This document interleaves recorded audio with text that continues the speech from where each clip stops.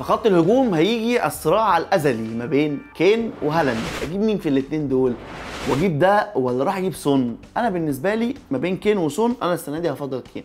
أرخص بنص مليون أرقامه كلها من ساعة ما كنت جه هو الأعلى. الموسم ده متوقع إنه يكون موسمه مع وجود كمان ريتشارلسون وسون. ممكن يبقوا الاثنين تحت المهاجم اللي جوه وهو كمهاجم وحيد وسايب الاثنين wing backs طايرين اللي هيلعبوا اوفرات غالبا هيستقبلها برده هاري كين. فبالنسبة لي ما بين كين وسون أنا هروح لهاري كين. كين وهالاند ليه هروح لكين أنا بالنسبة لي لأن كين مفيش حد يعوضه في توتنهام. يعني ما أقدرش أعوض كين بريتشارلسون مثلا لأن أنا مش ضامن أصلا إن ريتشارلسون يلعب على طول ولا لأ ومش دايما هيبقى بنفس ال- القوة الهجومية الغاشمة اللي هو ممكن ينفجر في أي أسبوع. فمعوض كين أصلا مش موجود. هالاند تقدر يعني تبقى حواليه تحوطه كده من كذا اتجاه. تقدر تجيب محرز تفكر في جريليش تجيب كانسيلو. لو ووكر قاعد موجود تقدر تجيبه. تقدر تحوطه شوية طبعا ممكن ما يبقاش بنفس التأثير. ويجيب عدد اجوان كبيرة مش من ناحية الناس اللي انت اشتريتها ولكن ممكن تقدر تحوطه بشوية. في وقت من الأوقات ممكن نضطر نجيب الثلاثه كين وهالاند وصلاح. عادي جدا. بس في البداية على الأقل أنا هبدأ بهاري كين وهستنى شوية على هالاند وأحاول أكفر مانشستر سيتي بلعيبة تانية. ننزل بقى شوية كده. في رايي ان أهم لاعب في الفئه اللي بعد كده هو جبريل خيسوس.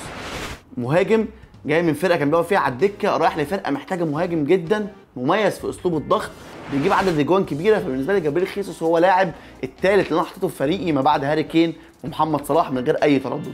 في فئه أعلى منه شوية بس أنا مش هروح لحد فيها بصراحة. الاثنين الأولين الأول هو فاردي وأنا طبعا بعشق جيمي فاردي ولكن مع شكل ليستر وتقدم عمره 9.5 مليون برضه هيخليني أستنى عليه شوية. فاردي بيبدأ الموسم دايما كويس فلو أنت من هواة ال risk ومش عايز تجيب خيسوس ومعاك فلوس روح لجيمي فاردي دايما على طول. طب داروين نونيز ليه مش داروين نونيز؟ عشان أنا عندي في ليفربول ببساطة خمس خيارات الخمسة مضمونين أكتر من نونيز في النقط. أرنولد روبرتسون أليسون لويس دياز محمد صلاح. الخمسة دول عندي مضمونين أكتر ويقدروا يجيبوا نقط أكتر. فليه أسيبهم وأروح أجيب لاعب أغلى من الأربعة من خمسة دول؟ عشان هو جاي جديد وبيلعب مهاجم. ما استنى عليه أشوفه. يمكن هو اللاعب اللي بيقلش في الأول ده زي ما بيقلش أو هو اللاعب اللي يجيب أربعة اجوان في لايبزيج. ده هو وده هو في نفس الوقت.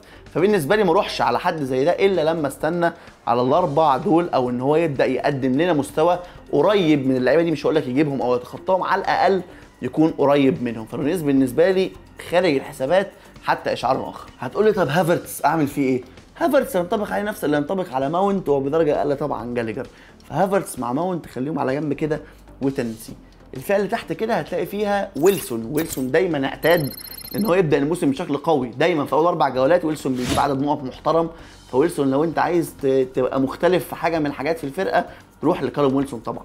إيفان توني 7 مليون ما بعد أول ماتشين عنده سلسلة ماتشات كويسة. تخليك مجبر دايما إن أنت تفكر فيه. finish الموسم كويس والفرقة يعني آه طبعا الخوف من آه متلازمة الموسم الثاني في البريمير ليج أكيد موجودة. ولكنه واحد من أهم العناصر في فريق برينتفورد اللي عنده ماتشات كويسة تبدأ تحاول تستغله طب أنتوني مارسيال مارسيال طبعا مولعها في الفترة التحضيرية ورونالدو غايب والمفروض إن هو لسه هيرجع مانشستر ويبدأوا يتناقشوا حوالين مستقبله. صحف إنجلترا بتتكلم إن كده كده مارسيال هيبدأ الموسم حتى لو رونالدو رجع التمرين. مارسيال مشكلته إن هو مش ثابت. مستوى دايما مش ثابت شوية فوق وشوية تحت. عايز تراهن عليه راهن. لو أنت مش قادر تدفع نص مليون الزيادة عشان تجيب جيدون سانشو فخليك مع مارسيال ماشي وشوف هيقدم إيه. ولكن في النهاية خليك متأكد إن مارسيال مستواه مش ثابت وثانيا لو رونالدو ما مشيش فأكيد رونالدو هياخد من وقته.